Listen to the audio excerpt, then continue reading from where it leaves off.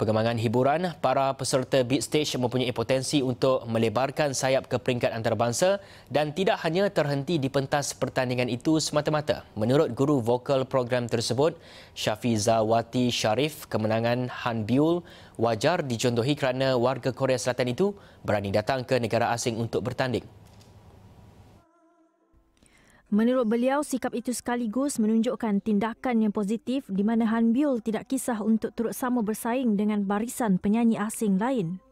Mampu sebenarnya. Sebab kita bukan kata pasal suara adalah milik seseorang. Jadi hmm. dia tak ada kisah pun pada sampai di negara mana. In fact, semalam kalau ikutkan judging, Nisa dia menang.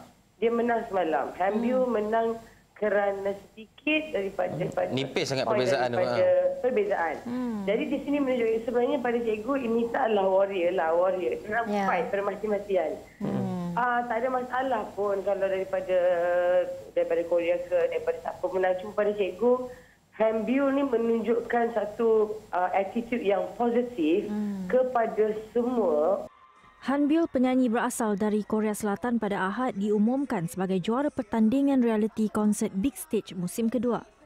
Hasil kemenangan itu, Han Bill berjaya membawa pulang hadiah wang tunai RM100,000, sebuah kereta P2 Asia Style, telefon pintar Vivo V17 Pro beserta trofi. Naib juara pula dimenangi Nita Manisha dan berjaya merangkul hadiah wang tunai RM50,000 beserta trofi.